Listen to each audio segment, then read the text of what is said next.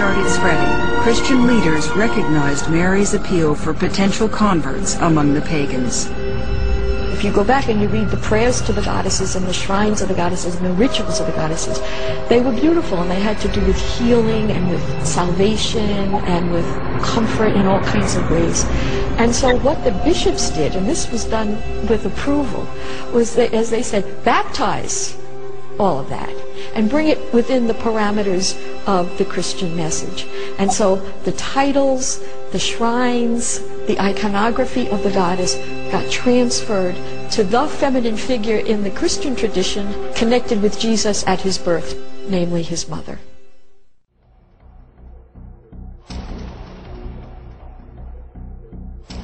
Some of the most striking similarities can be found in religious icons, such as Isis, the mother goddess, and her son Horus.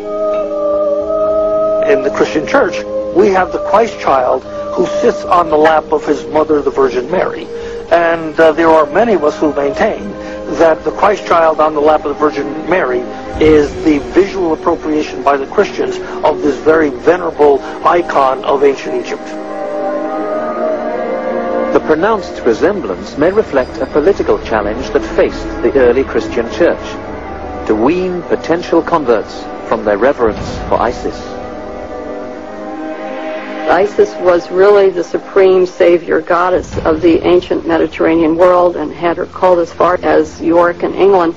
And probably early Christianity found Isis to be one of the most difficult obstacles to the popularity of Christianity because people were devoted to this loving mother goddess.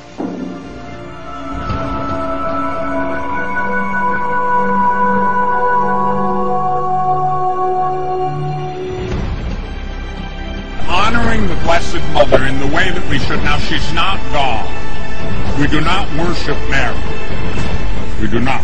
That would be heretical and improper. We love her.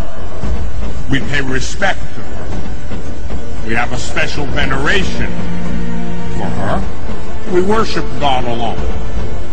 That's a totally distinct and separate thing. The Blessed Mother we respect. Why? She's the Mother of the Lord. How about? Or a star, and she's our spiritual mother. So, when you have a problem, go to Mary. She'll take it to Jesus.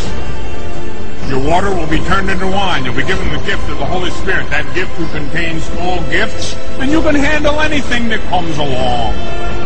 The Holy Father made a pilgrimage to Fatima to thank Our Lady for her divine protection and to consecrate once more the peoples and nations of the world to the Immaculate Heart of Mary.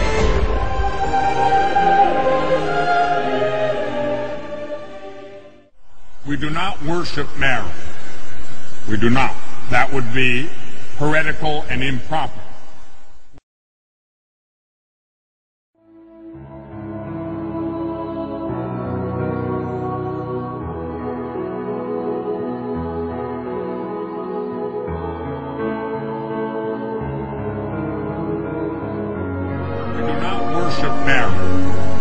We do not.